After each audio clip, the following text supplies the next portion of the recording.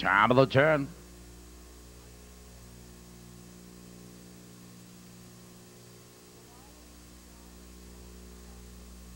Here they come.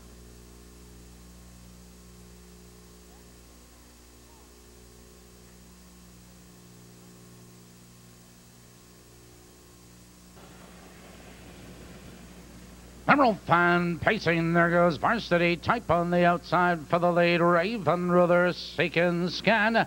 Into the turn they race, and Raven Ruther is your leader, but varsity type is on the attack. Second, Seeking Scan is right there in third. Three lengths back to Merson Corners, followed by French Canadian Cam Fleet. It's a gap to Royals Rice, High Gear Hanover. And your leader to the quarter is Varsity Type 2 lengths. Raven Ruther out and rolling second the quarter. 29 and 1 the quarter Varsity Type.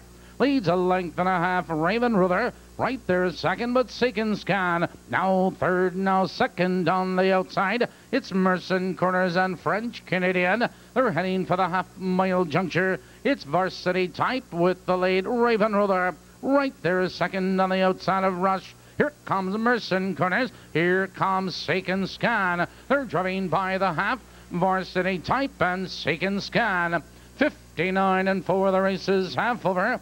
Into the clubhouse turn they race and Varsity Type leads the way sprinting clever length. It's Raven Ruther second. Seeking Scan is losing ground third. Merson Corners followed on the inside. It's Royals Rice. French Canadian. He's ready to go three wide out of the turn. Now they curve into the box to a and Varsity Type. Leads the way by three lengths. Seeking Scan moving back to second. Raven Ruther in third. Merson Corners French Canadian. 130 and 2 into the far turn. And Varsity Type leads now by three lengths. French Canadian now fourth, now third on the outside. Followed on the inside. Raven Ruther.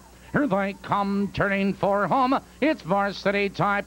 French Canadian charging. Here comes French Canadian with a rush. It's French Canadian on the outside, fastest of all. It's French Canadian varsity type off the wire.